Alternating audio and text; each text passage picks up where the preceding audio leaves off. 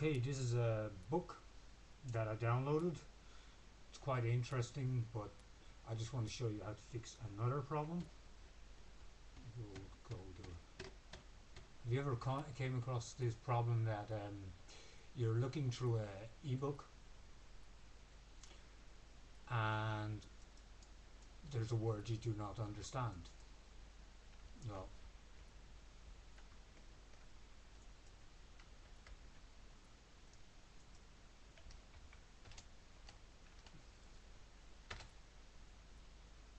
this is uh, one way of doing it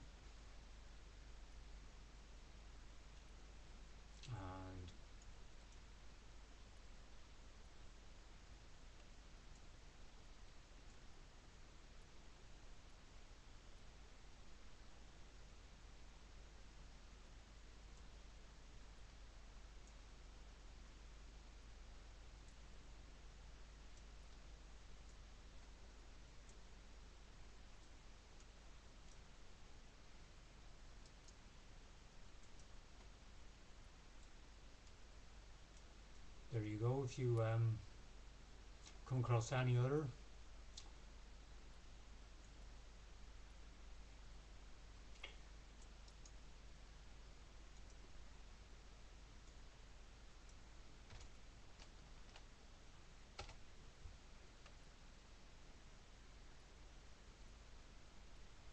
And that's your problem solved